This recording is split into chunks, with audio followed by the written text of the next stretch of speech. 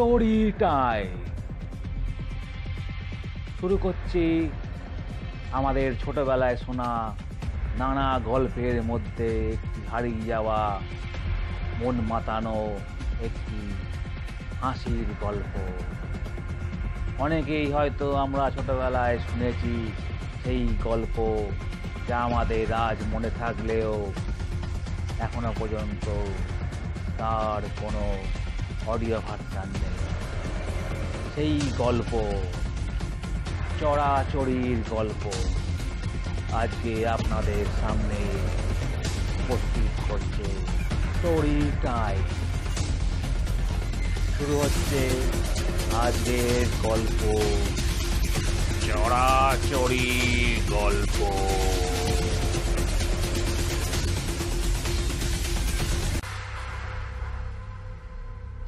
একটা গ্রাম ছিল। সেই গ্রামের চারিদিকে ছিল ঘন অরণ্যে ঢাকা।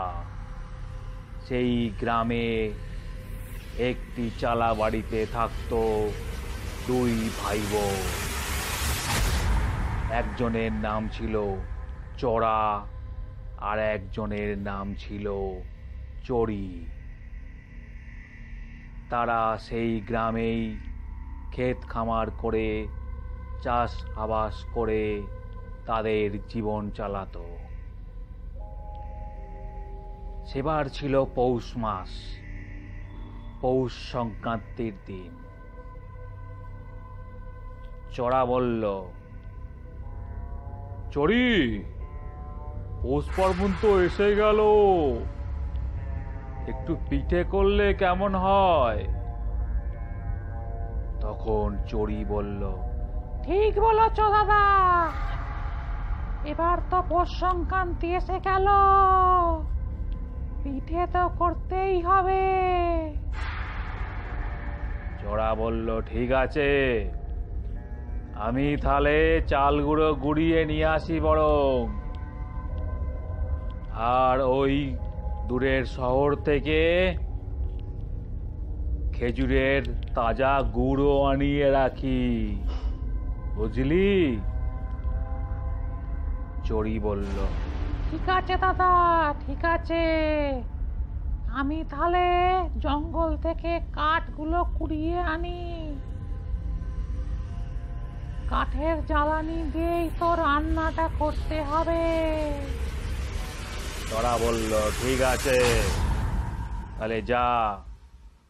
আমিও চালের গুঁড়োটা আর খেজুরের গুণটা আনিয়ে রাখি।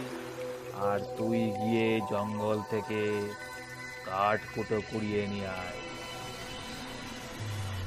এরপর ওরা দুজনে চলে গেল যে যার মতো জিনিস সংগ্রহ করতে। চড়া চলে গেল শহরে। সেখান থেকে মেশিনে চালের গুঁড়ো করে নিয়ে আসলো এবং মাটির কুঁজো করে এক কুঁজো খেজুরের তাজা টসটসে গুড় নিয়ে ফিরে এলো গ্রামে। এদিকে চড়িও জঙ্গল থেকে এক বান্ডিল কাঠ কুড়িয়ে নিয়ে এসেছে।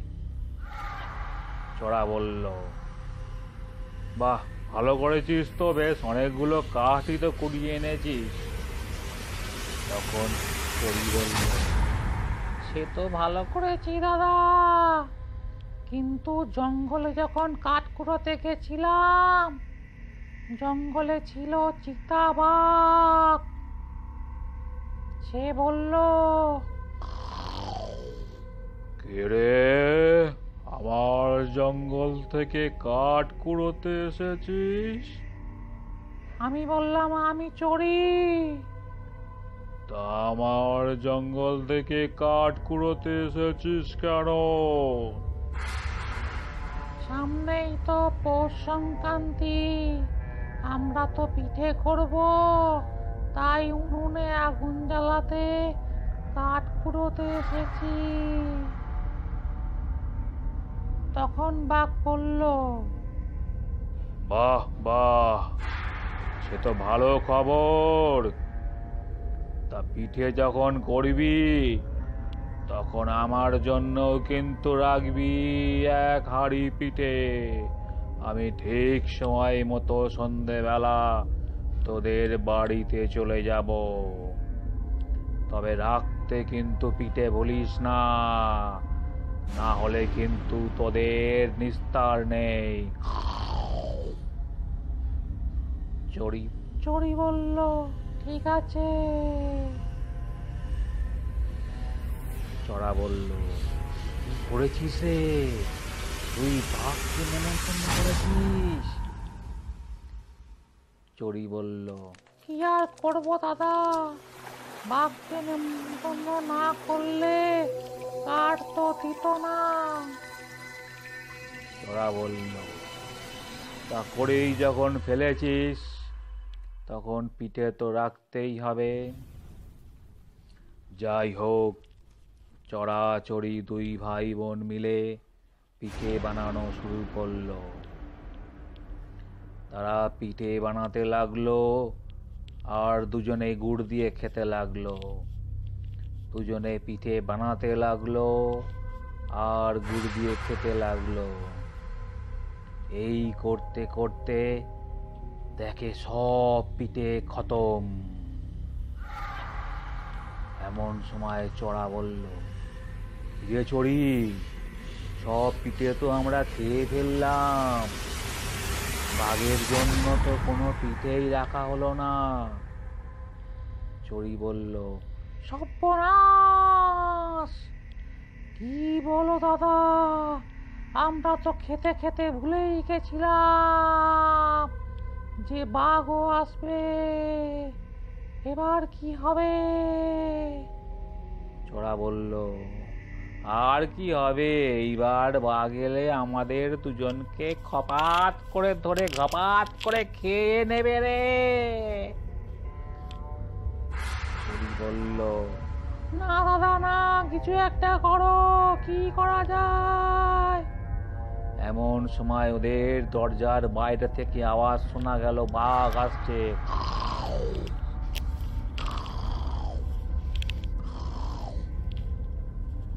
চড়া বলল ওই তো বাঘ এসে গেছে বাঘ এসে গেছে। চড়ি বলল দাদা দাদা দাদা কিছু করো দাদা। চড়া বলল ওই দেখ ওই দেখ আমাদের রান্না ঘরে একটা বড় মাটির জ্বালা আছে। চ দুজনে মিলে ওই জ্বালাটার ভেতরে লুকিয়ে পড়ি। চড়ি বলল হ্যাঁ হ্যাঁ হ্যাঁ চলো দাদা দাদা চলো তাই করি। বলে চড়ার তড়ি দুজনে লাফ মেরে ওই বিরাট বড় মাটির জ্বালাটার ভেতরে ঢুকে গেল। আর ওপর থেকে ছড়া চাপা দিয়ে ন্যাকড়া দিয়ে আটকে রাখল। বাঘ এলো আস্তে আস্তে। চড়ি চড়ি। কোথায় রে? আমার পিঠে কোথায়? চড়ি। কোনো সারা শব্দ নেই চারিদিকে। চারিদিকে এখন নিস্তব্ধ। বাঘ গজরাতে লাগল আর ডাকতে লাগল। চড়ি চড়ি। কোথায় পালালি? আয়, ধরি ধরি। কোনো আওয়াজ পেল না। রাগে খুঁজতে লাগল তখন চিতাবাঘটা। একবার যদি তোদের পাই তো হাড় মাছ চিবিয়ে ছাই ছাই করে দেবো একদম। এদিকে মাটির কলসির ভেতরে চড়াচড়ি ভয়ে তটস্থ হয়ে আছে। ওরা মুখে আঙুল দিয়ে আছে, তাতে কোনো আওয়াজ না বেরিয়ে যায় ওদের মুখ থেকে। বাঘ তখন গজরাতে গজরাতে দেখল একটা বড় মাটির কলসি রয়েছে। ও তখন ভাবলো, পিঠে যখন পেলাম না, এই মাটির কলসিটাই আমি বরং নিয়ে যাই। বলে মাটির কলসিটাকে মাথার ওপর চাপিয়ে নিয়ে চলল জঙ্গলের দিকে। এদিকে বড় মাটির কলসির ভেতরে চড়ার চড়ি ভয়ে কাঁপতে লাগল। এমন সময় চড়ি বলল দাদা দাদা চড়া বলল কি হলো? আসতে বল আসতে বল।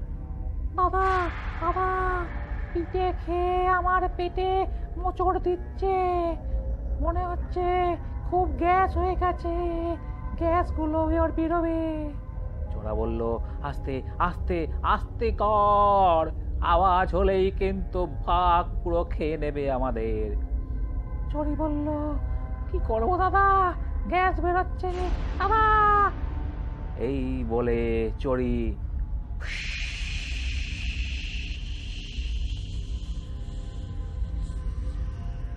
করে গ্যাস বার করে দিল। খুব আস্তে করে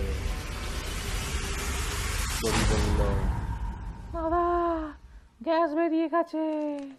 চড়া বলল ঠিক আছে সেরকম আওয়াজ হয়নি তো। ভাগ চলছে মাথায় বড় মাটির কলসি নিয়ে। এমন সময় চড়া বড়ে উঠল চড়ি চড়ি এবার মনে হয় আমার পেটের গ্যাসটা মোচড় দিচ্ছে, অনেক পিঠে খেয়ে ফেলেছি, এবার মনে হচ্ছে আমারও গ্যাস বেরোবে তোর মতো। চটি বলল, আস্তে আস্তে আস্তে দাদা। জোরে খবরদার নয়, তুমিও আমার মতো আস্তে করে গ্যাস দাও। জোরে আওয়াজ হলেই কিন্তু বাঘ আমাদের খপাত করে ধরে, মরাত করে খেয়ে নেবে। চড়া বলল, ঠিক আছে ঠিক আছে, আমি চেষ্টা করছি চেষ্টা করছি, যতটা আস্তে গ্যাসটা বার করা যায়। কিন্তু চড়ার পেটে এতটাই গ্যাস হয়েছিল সেই কোনো ক্রমে চেষ্টা করেও আস্তে করে গ্যাস বার করতে পারল না। বিকট আওয়াজ করে চড়ার পেট থেকে গ্যাস বেরিয়ে গেল।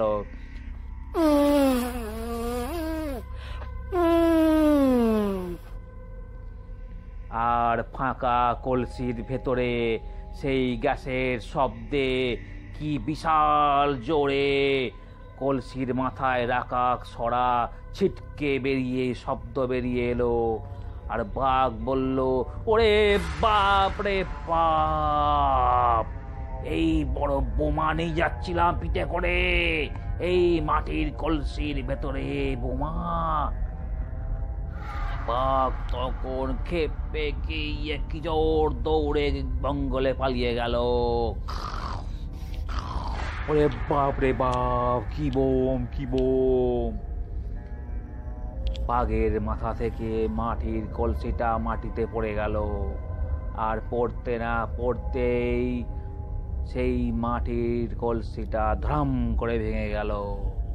আর তার ভেতর থেকে বেরিয়ে এলো লুকিয়ে থাকা চড়া আর চড়ি।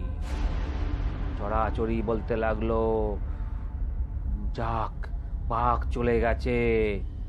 চড়ি বলল, দাদা, তোমার জন্যই বাঘটা চলে গেল।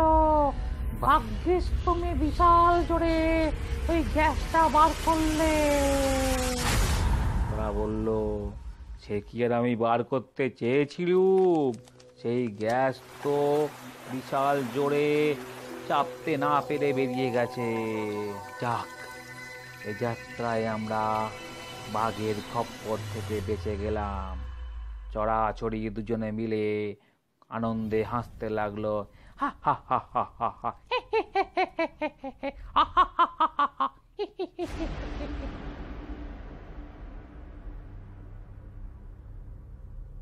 শেষ হলো আমাদের আজকের গল্প। চড়া ও চড়ির গল্প।